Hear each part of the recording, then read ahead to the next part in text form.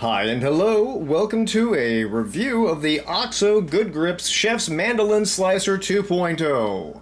Spoiler alert, I really liked it. It turned out to be really good. So I'm going to show you real quick a plate of vegetables that I have prepared.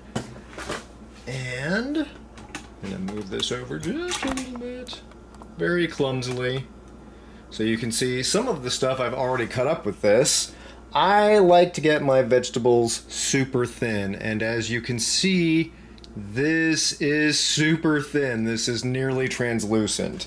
And it was really, really easy to use, so I'm going to show you a little demonstration real quick just to show you how easy it was for me. And this is literally my first time ever using a mandolin slicer.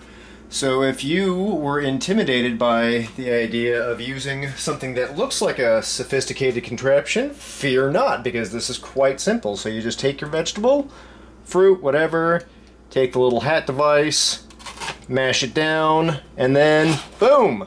Just like that. Just back and forth, easy as you like. Do, do, do. It works with, I've already tried it on some onion, some scallion, and two kinds of pepper, and I'm having terrific results. It's really, really good. If you have the money, I would suggest go out and buy one because it's it's just very effective. It's a fast review, but it's a good review. I like everything about this. Uh, washed nicely in my dishwasher.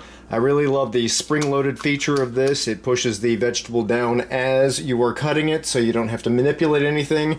Fastest chopping of vegetables I've ever done in my life. Super happy. I enjoyed it.